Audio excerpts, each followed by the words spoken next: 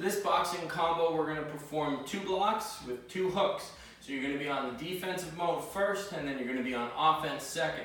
So your blocks are gonna go block, block, hook, hook, like so. So I'm gonna go right arm, block, left arm, block, hook with my right, hook with my left. That's how the combo looks in slow-mo. In real time, it's gonna be block, block, hook, hook, block, block, hook, hook, block, block, hook, hook.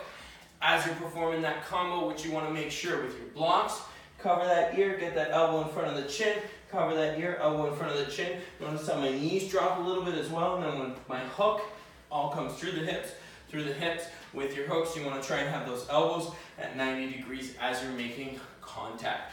This combo is a little bit more advanced than some of the other combos, so start slow with this one and then build up the speed as you make sure you have your technique on point.